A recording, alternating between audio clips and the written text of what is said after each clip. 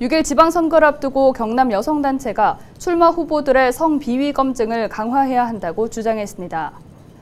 28일 국민의힘 경남도당 앞에서 여성단체는 집회를 열고 국민의힘이 여성폭력 범죄에 연루되거나 성범죄 전력이 있는 후보는 공천에서 원천 배제해야 한다고 강조했습니다. 이어 국민의힘 경남도당이 강화된 심사 기준을 마련했다고 했지만 실제로는 체감되지 않는다며 공천심사위원회에서 토대를 만들라고 주장했습니다.